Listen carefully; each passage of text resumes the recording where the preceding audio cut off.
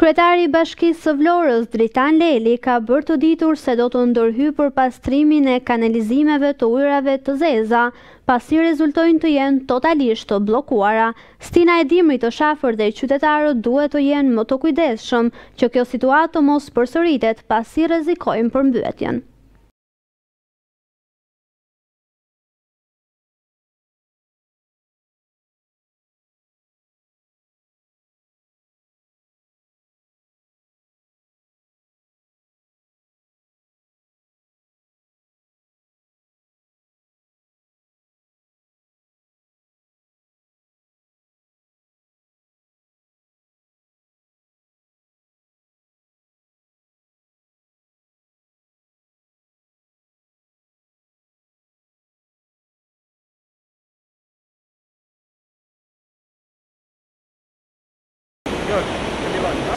Atëherë duke ju falenderuar të gjithëve për ndjeshmërinë, për lajmet që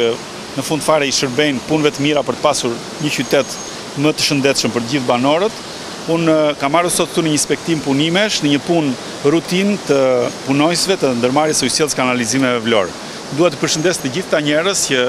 për të gjithë muajt e kësaj vere kanë qenë duke punuar Ditë dhe natë dhe pa orar për pastrimin e kanaleve të kanalizimeve të qytetit. Arsyeja që ju kam sjellë sot këtu të gjithëve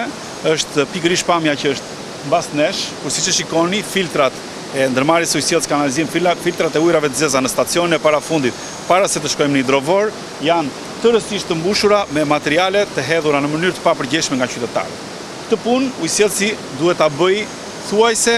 çdo muaj. Dhe Sa herë që ka shira, tubacionet e ujësjellësit, këto filtra fundorë mbushen në një mënyrë të tillë që është skandaloze, që tregon për edukatën e ulët qytetare që ne kemi. Nuk dua të akuzoj askënd, nuk dua të bëhem asnjëherë njeriu që dua të kërkoj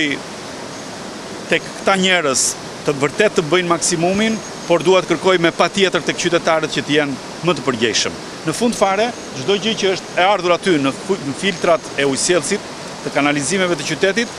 ka ardhur nga papërgjegjshmëria qytetare. Dhe nesër, ajo që duam të gjithë është që të kemi një qytet që nuk përmbytet. Në momentin që çdo gjë që kemi në oborret tona, çdo gjë që kemi në banjat e shpive, e hedhim në kanalizimet e qytetit, ajo përfundon këtu. Dhe nesër, riskojmë të gjithë që të kemi një qytet të sigurt nga përmbytjet. Ajo që do ishte pyetja e gjithkujt është nëse e kemi shpëtuar Vlorën nga përmbytjet. Ne jemi këtu për të bërë maksimumin në mënyrë që të garantojmë lirshmërinë e kanalizimeve të qytetit. Përmbytjet në fund fare janë problematika që vijnë nga kusht ndryshimi i rëndë i kushteve atmosferike dhe përmbytje pësojnë dhe qytetet më të rëndësishme të Evropës që kanë absolutisht burime financiare shumë më të forta dhe investime shumë më të mëdha por Ajo që unë dua të transmetoj sot nëpërmjet kamerave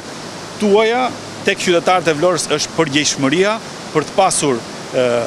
ndjeshmërinë dhe për të menduar që çdo gjë e hedhur në kanalizime në fund fare përfundon këtu dhe rrezikon çdo ditë sa herë që ne kemi përmbytje punën e qytetit. Këta punëtorë sot mund të bënin një punë tjetër, mund të ishin diku në një lagje duke shtruar disa kanalizime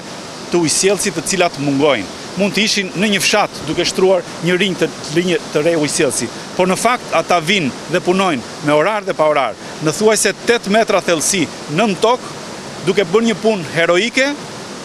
që në fund fare në qoftë se qytetarët do ishin të kujdesshëm nuk do të ishin të detyruar ta bënin. Prandaj dua që nëpërmjet jush t'u transmetoj të gjithëve përgjegjshmërinë e që të duhet ta rrisin për të respektuar atë që